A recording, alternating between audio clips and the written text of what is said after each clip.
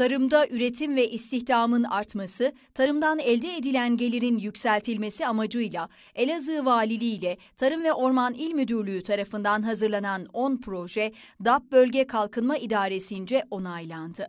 2021 yılı bitkisel üretim ve hayvancılık altyapısını geliştirme projesi kapsamında Elazığ'da 10 projeye 3,5 milyon liralık yatırım desteği sağlanacak.